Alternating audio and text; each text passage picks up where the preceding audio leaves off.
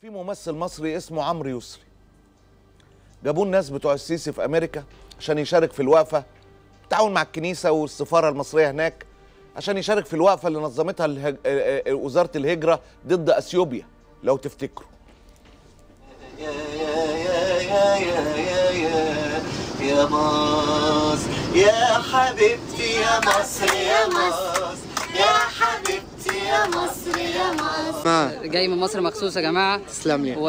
واللي طلبنا منهم اللي هم يجوا ما, ح... ما كتبوش حتى حاجة على الصفحة الراجل ده جه مخصوص والله شكر خاص ليه. وأتمنى من كل الصحافة في مصر تشكر الراجل ده لأن الراجل ده جه مشوار كبير والله علشان طبعا أنا جيت مخصوص من مصر علشان أشارك الحدث الجميل ده. و آدي المصريين اللي موجودين بره. آدي الناس اللي بتحب بلدها. حتى لو كانت عايشة بره فبلدها بدمها. بلدها فوق كل شيء. رغم كل الصعاب اللي إحنا شفناها. ومع ذلك نزلوا في الويك إند بتاعهم والكورونا مالية الدنيا علشان يعملوا الوقفة دي علشاننا إحنا كمان لازم نقف. يعني أنا أنا ما بطالبش بمليونية لأن إحنا في كورونا. زي ما نزلنا للسيد الرئيس السيسي وطالبناه وقلنا له يلا إحنا اخترناك. إحنا دلوقتي في وقت كورونا كان زماني قلت لكم يلا بينا ننزل ونقف علشان نبين لأثيوبيا إحنا قد إيه متماسكين وإحنا لازم نعمل المليونية دي عشان نقول لكم أنتوا مش هتكسرونا. يا ترى إيه السبب في اللي إحنا وصلنا له ده يا عمرو؟ عمرو كان رايح يشارك في الوقفة نفسه يعمل مليونية. قال لك مصر مش هتبقى آه، دلوقتي بقى هبة النيل وأثيوبيا بتضحك علينا. يا جماعة خدوا بالكم موضوع سد النهضة ده في خلال ثلاث شهور إحنا لو ما خدناش موقف بالكتير قوي شهر آه مصر مش هتلاقي هبة النيل. يعني لو هنهزر هنقول هنقعد ندور على هبة ساعتها إحنا هنشتري المية من أثيوبيا وممكن كمان ما يبيعولناش المية. الموضوع خطير جدا يا جماعة. آه، أرجو إن أنتوا تكونوا فهمتوا الوضع. أرجو آه، إن أنتوا تكونوا على دراية شوية آه، بالموقف اللي إحنا بقينا فيه. كل العالم انشغل بكورونا وأثيوبيا عمالة تضحك علينا وعمالة تماطلنا.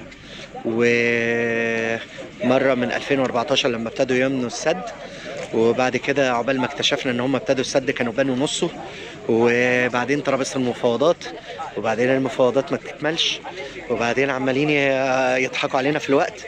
هم عمالين يستمروا في بنى السد ودخلت لنا حكاية الكورونا فابتدت الناس تنشغل بالكورونا بالكورونا فابتدت هم يكملوا. ما بقوا ما بطلوا إن هم يتواصلوا بطلوا إن هم يقعدوا. خلاص. ده الفنان عمرو يسري لما جابوه لأمريكا عشان يشارك في الوقفة ضد أثيوبيا والوضع اللي حضراتكم متابعينه قاعد يغني حبيبتي يا مصر وكده. هكمل استفزتني رسالة من حد طيب قوي بيقول لي السفارات تدفع فلوس للناس والدول المختلفة لحد انتهاء الأزمة. يا ابني مع احترام الح... أنا آسف يعني أنا آسف بجد. بقول لك الدول عرضت إنها ترجع الناس مش عايزينهم لما. ي... ي... ي... يكيشوا. السفارات إيه اللي تدفع فلوس للناس؟ دي حكومة زي الحداية لا يمكن تحدف كتاكيت. السفارات تدفع فلوس للناس. طيب قوي يا خال السفارات مين اللي تدفع فلوس للناس؟ عمرو يسري ده خلينا في عمرو يسري. جابوه قاعد يغني يا حبيبتي يا مصر ويشارك في الوقفة اللي عاملاها السفارة وجاي من مصر عشان هذا المشهد. بيأدي دوره كمواطن شريف. شكل يا ترى مصر عملت معاه عملت معاه إيه؟ عملت معاه الجلاشه سابته في أمريكا. أنا الفنان عمرو يسري. أنا هنا آه، في نيويورك من 2 مارس. فطبعا آه، أنا ما أعرفش حاجة هنا. اهوت مع إني رحت واشنطن وعملت الوقفة الاحتجاجية آه، بتاعة سد النهضة و... ورحنا يعني بباص ورجعنا بباص وكان يوم شاق جدا وسفر خمس ساعات علشان نعمل الوقفة الاحتجاجية ديت. فطبعا أنا ما أعرفش حاجة هنا أهوت يعني الناس اللي هنا هم اللي خدوني وودوني وركبونا الباص وسافرنا وبتاع وكده أهوت. ف... فطبعا آه، أنا اكتشفت آه، أول طيارة ما عرفتش إنها جت اللي هي يوم ثلاثة ديت. وبعدين قالوا في طيارة بتاعت يوم ستة. فطياره يوم ستة أنا مش عارف مش عارف أروح إزاي. قلت طالما بعتوا طيارة لواشنطن أكيد هيبعتوا طيارة لنيويورك. أتاري الموضوع إني آه، إني إني لأ يعني آه، ان ان الطيارتين دول طالعين واشنطن بس. طب يا جماعة يعني آه، في هنا الولايات بعيدة جدا يعني يعني هنا المسافات بعيدة عن بعضها الولايات بعيدة عن بعضها. فالمفروض اني إني يعني آه، يتقال يتقال يا جماعة آه، مفيش طيران هيجي نيويورك مفيش طيران هيجي آه، واش... غير واشنطن بس. اتصرفوا وحاولوا تيجوا واشنطن. تل دلوقتي السفارة الأمريكية بتعلن عن طيارة يوم 22 من القاهرة للندن على طيران إير كايرو. السفارة الأمريكية بتعلن عن طيارة جديدة. ما بص حضرتك إلا الشهامة. إلا الشهامة. آه آه آه خدها يا درويش. إلا الشهامة. مصر بتعلن عن السفارة الأمريكية بتعلن عن طيارة يوم 22 من القاهرة لندن. أمريكا. قال له بص اعتبرني الصبي. عايز إيه يا بيبي؟ أعمل لك أي حاجة. قال له طب مش هتواجه مشكلة بالنسبة لمواطنين بلدك؟ قال لك على يتحرقوا بجاز وسخ. مواطنين إيه يا ابني؟ دول عبيد نعمل فيهم اللي إحنا عايزينه. مهم الأمريكان والبريطانيين هم الناس النظيفة دي. إحنا ما بنعملش أي حاجة. أهي. السفارة الأمريكية بتعلن عن رحلة Cairo to London يوم 22 إبريل للمواطنين الأمريكان اللي عايزين يغادروا مصر يعودوا لهو لبيتهم.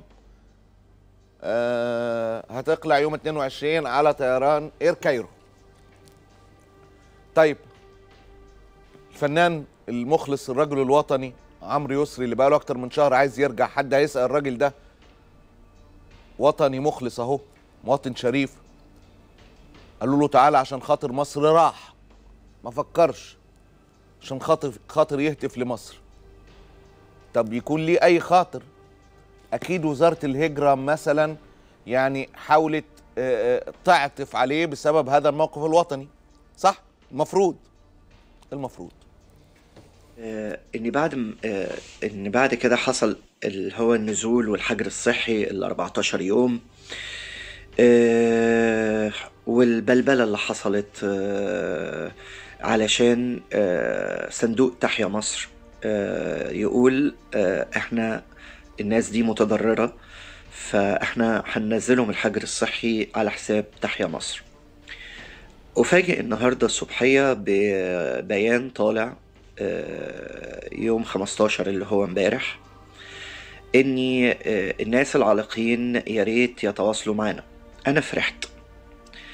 فلقيت آه، بند آه، رقم اتنين آه، أنا استغربته بصراحة. بند رقم اتنين بيقول آه، عليك إنك تدفع تذكرة الطيارة. طب ما أنا عندي تذكرة العودة بتاعتي. فمن الواضح ان ان مثلا تذكرة العودة دي ملهاش أي قيمة. إن كأنها مثلا راحت عليك وكده أهوت فلا خلاص دي راحت يعني. ولو إن مفيش كده في الطيران ابدا يعني. مجرد إن عندك تذكرة رجوع ممكن تدفع آه، مبلغ آه، رمزي على أساس إن أنت إيه هتغير الطيارة لكن أنت دافع حق تيكت الرجوع بتاعك يعني. ف... فالبيان بيقول إنك أنت هتدفع تيكت الرجوع وهتدفع 14 يوم حجر صحي آه، في مرسى علم. وإني ال 14 يوم الحجر الصحي مرسى علم لو أنت هتقعد في غرفة مزدوجة يعني أنا لوحدي آه، ما معيش مدام. فيجيبوا لي واحد يقعد معايا لا أعرفه ولا يعرفني من خلال الطيارة. لو أنت قعدت آه، في غرفة مزدوجة 750 جنيه لليوم الواحد.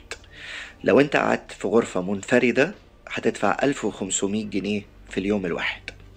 يعني هم بيكلموني على أساس إن طبعا استحالة إني آه، أقعد مع واحد ما أعرفوش وندخل الحمام ونخرج من الحمام و...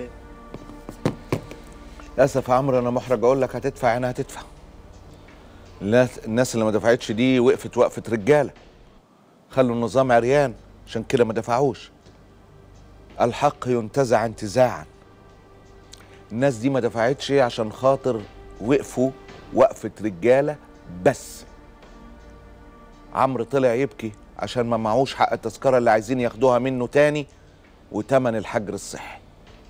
هم مش دريانين أو معنى أصح مش حاسين إن شهر وداخلين على أسبوعين عايشين إزاي ومعانا فلوس ولا ما معناش؟ بناكل ونشرب إزاي؟ قاعدين في بيت ولا مش قاعدين في بيت؟ آه ومع ذلك بيطلبوا مننا مش أقل من 25 ألف جنيه والكلمة دي مهمة جدا. قبل ما تطلع الطيارة. يعني أنتوا هتدفعوا الفلوس من قبل ما تطلع الطيارة عشان ما يحصلش زي اللي حصل للفوجين اللي فاتوا سواء فوج الكويت أو فوج آه، أمريكا أو فوج لندن. واخد بالك؟ فلا الموضوع منتهي. هتدفعوا الفلوس هتركبوا الطيارة. مش هتدفعوا الفلوس مش هتركبوا الطيارة. في غيرنا كتير غيري. متعلقين يا جماعة حسوا. يعني خمسة وعشرين ألف جنيه والفلوس اللي دفعناها هنا والحياة اللي عشناها هنا. أرجوكوا حسوا بينا. آه يا ريسنا إحنا متعلقين. رجعنا.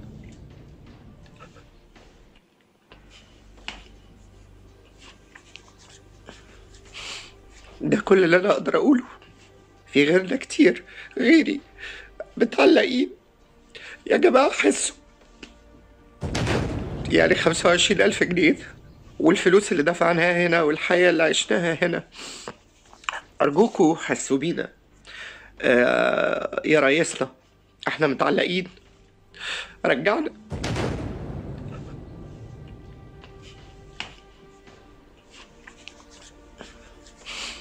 ده كل اللي أنا أقدر أقوله.